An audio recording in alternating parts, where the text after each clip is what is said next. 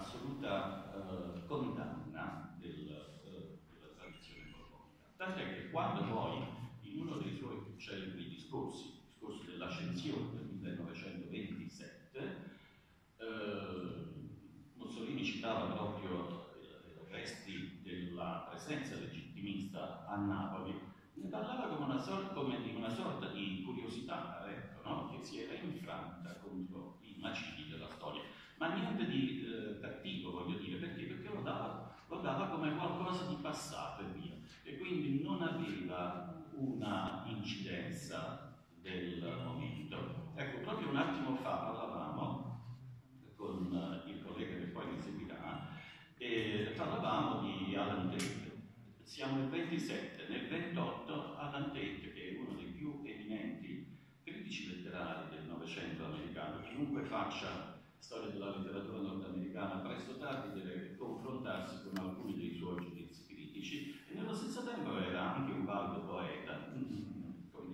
non dei sommi, ma insomma era un eccellente poeta e l'anno successivo, quindi siamo nel 28, pubblica l'Ode ai confederati, che è un, eh, posso dirlo, insomma, è un lavoro di grande pregio, innanzitutto poetico.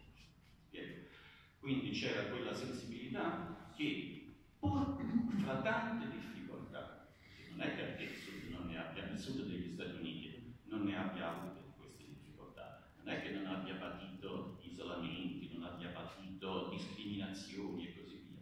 Però vuoi per tante ragioni, che so io, lo stesso ordinamento federale, per le scelte, eccetera, eccetera, la capacità di ritrovare una propria identità, che è il movimento degli agrarians, di cui, quindi degli agrari, di cui prima eh, facevamo cenno insieme, eh, tutto questo è servito a far sì che una memoria, una identità permanesse.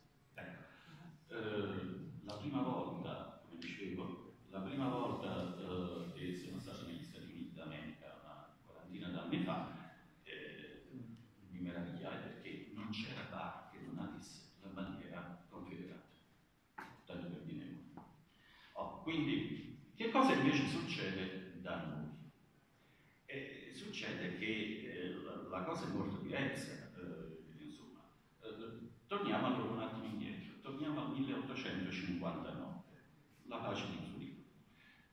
All'articolo 18 lì le potenze firmatarie del, dell'accordo eh, concordano e si obbligano a, eh, ad adottare, a favorire quindi un ordinamento confederale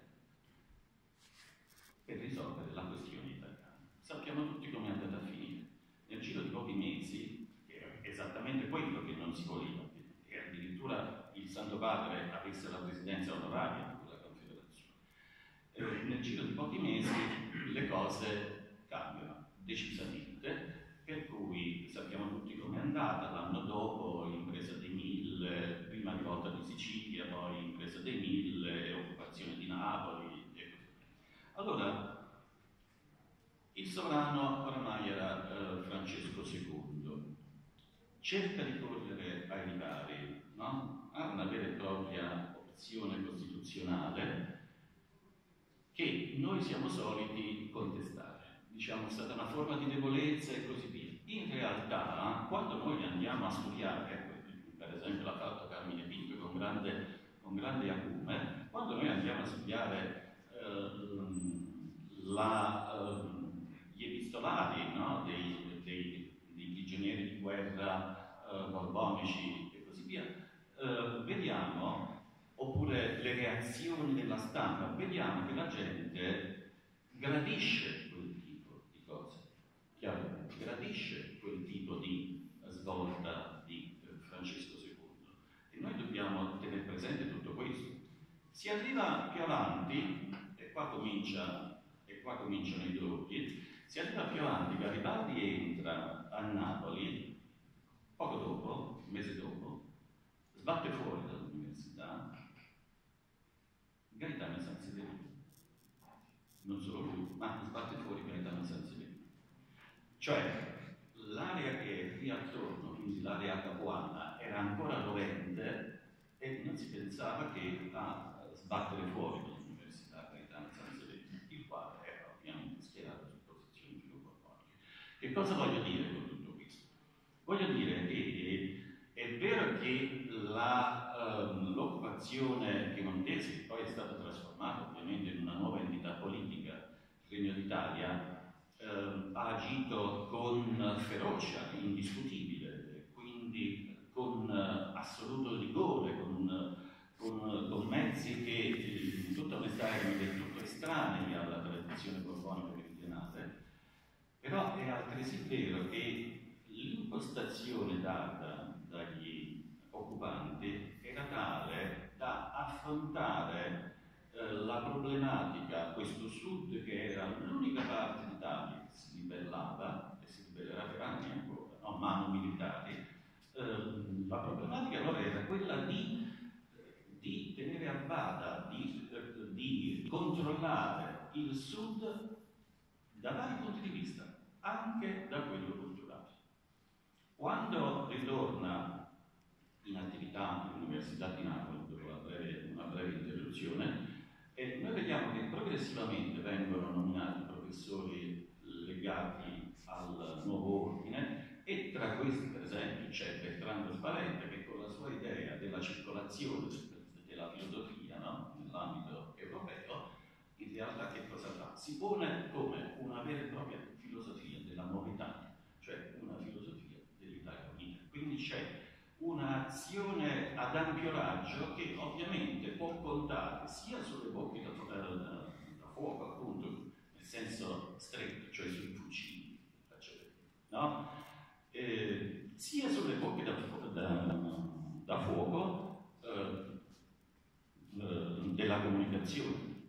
Perché mentre, che so, eh, dopo tre numeri la tragicommedia di eh, di lesivo viene chiusa, adesso è una fluvia di, di scritti che condizionano anche l'aspetto culturale, sociale, economico, eccetera. Quindi l'azione che il governo unitario viene eh, facendo in questo giorno di tempo è su ampia scala.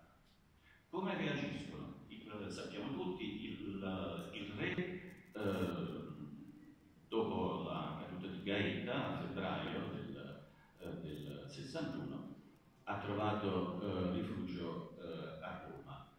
Questo fatto che cosa comporta? Comporta un inasprimento addirittura, tant'è che ad un certo momento Napoleone III gli consiglia di trasferirsi sotto